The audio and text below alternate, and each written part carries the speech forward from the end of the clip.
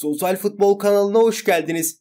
Fenerbahçe'den son dakika haberleri almak ve yeni transferleri ilk siz duymak istiyorsanız kanalımıza abone olmayı ve bildirimleri açmayı unutmayın. Hepinize iyi seyirler.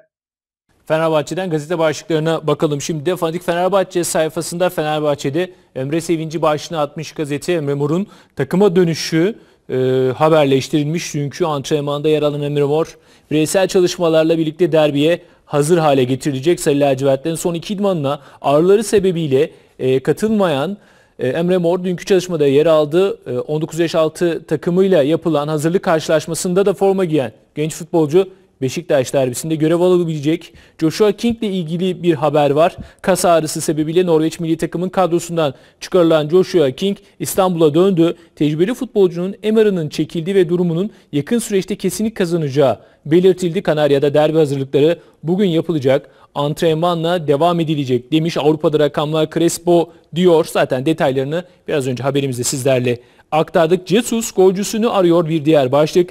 King'in sakatlığı sonrasında derbi için planları değişen Jesus, Valencia'ya Başuay ve Serdar Dursun'un milli takımlarından dönmesini bekliyor.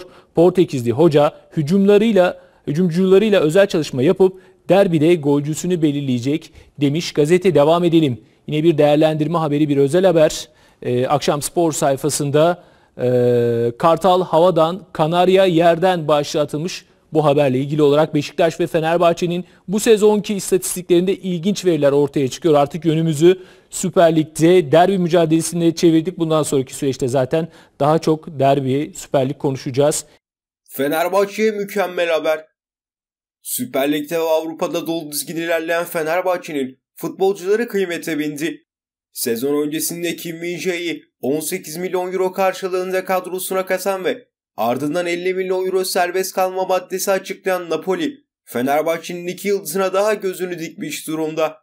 İtalyan kulübü Ferdi Kadıoğlu ve Osayi Samuel'i yakın takibe aldı.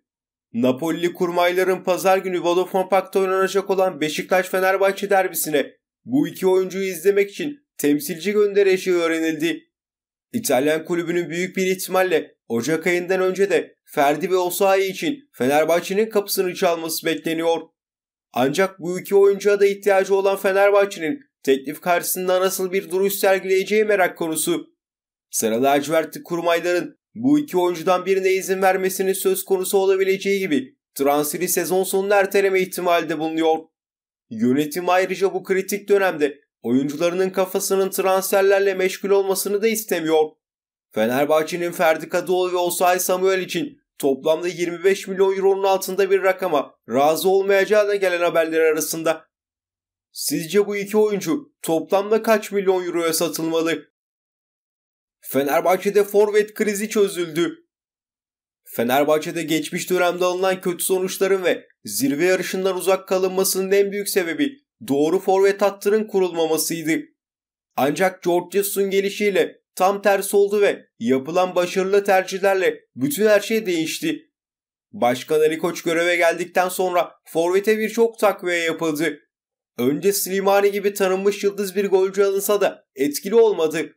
İkinci golcü olarak alınan Vedat Muriç patlama yaptı ve birinci forvet transferinden vazgeçildi. Tüm sezon onu da yedekleyecek bir isim yoktu. İkinci yarı düşüş yaşandı. Bu sezon ise en doğru hücum hattı kurulmuş gibi duruyor. Biraz geç oluşturulsa da sarı lacivertlerin hücum hattında birbirinden farklı 3 golcü bulunuyor. Takımın birinci forveti ise Joao Pedro. Yıldız futbolcunun en büyük özelliği ceza sahasında etkili oluşu. Burada topla buluştuğunda skor üretme oranı çok yüksek. Serie A tarihinin de en çok gol atan Brezilyalı oyuncular arasında yer alıyor. Takımın diğer golcüsü Ener Valencia. Futbolcu skorer bir isim olmasının yanı sıra kanatta da görev yapabiliyor. Bu da onu farklı kılan bir diğer özellik. Maç içinde farklı bir role bürünebiliyor. Takıma son katılan Michi Batshuayi ise fiziksel özellikleriyle ön plana çıkıyor. Bitiricilik noktasında zaman zaman sıkıntı yaşasa da sağda basmadık yer bırakmıyor. Ceza sahasında da taç çizgisinde de rakibe baskı yapabiliyor. Bu da takım savunmasını ileri uçtan başlatıyor. Öte yandan bu isimlerin yanında farklı bir profil olarak Serdar Dursun yerli olarak büyük bir avantaj sunuyor. Mücadelesi, profesyonelliği, hava toplarına hakimiyetinin yanı sıra sürpriz vuruşları ile golcü portföyünü genişletiyor. Sizce Fenerbahçe'nin forvet ikilisi hangi isimlerden oluşmalı? Beşiktaş-Fenerbahçe maçı öncesi ilginç istatistik. Süper Lig'in 8. haftası D1 derbiye sahne olacak. Beşiktaş ile Fenerbahçe Vodafone Park'ta kozlarını paylaşacak. Bu hafta sonu Süper Lig'de oynanacak olan kritik Beşiktaş-Fenerbahçe derbisi öncesi iki takımın ligde elde ettikleri istatistikleri karşılaştıralım. Kara Kartal, orta, kafa vuruşları, hava topu mücadelelerinde sarı lacivertlerden sayısal olarak daha iyi istatistiklere sahip. Bu veriler sayesinde siyah beyazların oyunu havadan oynamayı isteyen rakibinden daha fazla olduğunu net olarak söyleyebiliriz. Fenerbahçe'nin defansif aksiyon sayısı düşük. Bu veriler Kanarya'nın oyunu hücuma yönelik kurduğunu ve defansta çok az vakit geçirdiğini gösteriyor. Beşiktaş'ın top kazanma, araya girme gibi rakibinin defanslar hücuma doğru geçiş yapabileceği hamlelerdeki üstünlüğü siyah beyazların lehine olabilir. Karşılaşma içindeki top kayıplarında ise Fenerbahçe'nin daha az kayıp yaptığı net olarak görülüyor.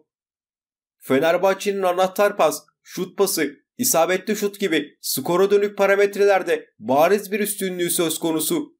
Kanarya maç başında 3.33 gol ortalamasıyla oynarken siyah beyazlar ise 2.29'da kaldı. Beşiktaş'ın uzun pas istatistiklerinde Fenerbahçe'ye karşı üstünlük kurduğu da söylenebilir. Pas verilerinde ise Fenerbahçe'nin rakibinden daha iyi olduğu görülüyor. Üçüncü bölgede yapılan paslarda sarı lacivertlerin rakibine karşı üstünlüğü bulunuyor. Fenerbahçeli Joshua King İstanbul'a döndü. Fenerbahçe forması giyen ve sakatlığı nedeniyle Norveç milli takımının kadrosundan çıkartılan Joshua King İstanbul'a geri döndü. 30 yaşındaki futbolcunun son durumu henüz netlik kazanmadı. Norveçli futbolcunun sağlık durumunun yapılacak kontrollerin ardından belli olacağı öğrenildi. Fenerbahçe'de sakatlığı bulunan bir başka isim Emre Mor ise U19 maçında forma giydi. Emre gelecek hafta oynanacak Beşiktaş derbisine yetişecek. Fenerbahçe'nin yıldızı Miguel Crespo top kazanmada Avrupa'nın zirvesinde. Fenerbahçe'de Miguel Crespo formuyla yine takımın vazgeçilmezleri arasına girmeyi başardı. Geçen sezon transfer döneminin kapanmasına kısa bir süre varken takıma katılan Portekizli oyuncu Vitor Pereira döneminde önce adaptasyon süreci yaşamıştı.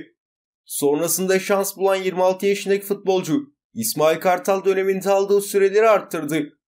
Başarılı orta saha oyuncusu bu senede formayı bırakmayacağının mesajını şimdiden verdi. Yaz döneminde yaşadığı sakatlığın ardından hazırlık müsabakalarında ve ilk resmi maçlarda nispeten daha az süre alan Crespo son haftalarda yine adından söz ettiriyor. Portekizli oyuncu sergilediği performansla Avrupa'da da zirve oynuyor. Crespo Avrupa'nın en değerli 10 liginde 90 dakika başına rakip sahada en fazla top kazanan orta saha konumunda. 26 yaşındaki futbolcu 4.24 ortalamasıyla bu alanda ilk sırada yer alıyor. Geçen sezon başında yaklaşık 1,5 milyon euro bedelle Fenerbahçe'ye imza atan orta saha oyuncusu piyasa değerini 8 milyon euroya kadar yükseltti. Bu sezon sarı lacivert formayla 9 maça çıkan Crespo bir gol atıp bir de asist yaptı.